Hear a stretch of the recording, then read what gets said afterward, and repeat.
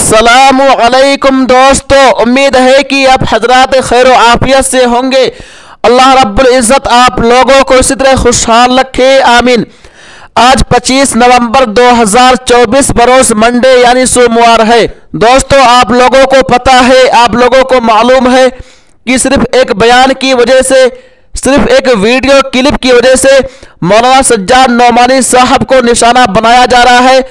उनको जान से मारने की धमकी भी दी जा रही है और उनको जेल में डालने का मुतालबा भी किया जा रहा है। उनको उम्र कैद की सजा सुनाने का मुतालबा किया जा रहा है।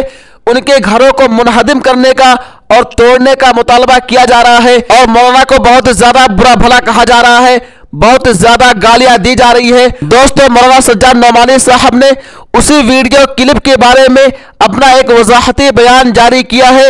एक वजाहती बयान दिया है। आइए बगैर किसी तमहीद तखीर के मौलाना के उस वजाहती बयान को जान लेते हैं, सुन लेते हैं। मौलाना सज्जाद नौमानी ने एक बयान जारी करते हुए कहा कि महाराष्ट्र असम्बली इंतबात 2024 में मेरे बयान को तोड़ मरोड़ कर पेश किया जा रहा है और गलत खबरें चलाई जा रही हैं। उन्होंने आज यहाँ जारी एक बयान में कहा कि मीडिया के कुछ दोस्त और कुछ फिरका परस्त लोग मुझे किसी ओलमा बोर्ड या काउंसिल से जोड़ रहे हैं और कह रहे हैं कि मैंने कोई सत्रह निकाती मुतालबात महाविकास अघाड़ी की जमातों को लिखा था।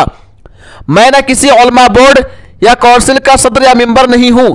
और ना मैंने ऐसा कोई खत लिखा है। मौलाना सज्जाद नौमानी ने अपने एक्स यानी ट्विटर हैंडल में वजाहत बयान जारी करते हुए कहा कि मैं सज्जाद नौमानी ये ऐलान करना चाहता हूँ कि महाराष्ट्र में 2024 के असम्बली इंतबात के दौरान बहुत से लोग अखबार और इलेक्ट्रॉनिक मीडिया मुझे ओलमा बोर्ड ओलमा काउंसिल और कुछ सत्रह निकाती खत से जोड़ रहे हैं। उन्होंने कहा कि मैं वाज तौर पर कहना चाहता हूँ कि मैं ना तो किसी ओलमा बोर्ड ओलमा काउंसिल का सदर हूँ और न ही मेंबर हूँ, और न ही मेरा किसी भी किस्म के सत्रह निकाती खत से कोई ताल्लुक है। कुछ लोगों अखबार और इलेक्ट्रॉनिक मीडिया ने बगैर तस्दीक किए मुझे उस ओलमा बोर्ड ओलमा काउंसिल और सत्रह निकाती खत से जोड़कर मेरी शबी को मजरूह करने का काम किया है। मौलाना सज्जाद नौमानी ने कहा कि मैंने उन सब के खिलाफ कानूनी कार्रवाई शुरू कर दी है।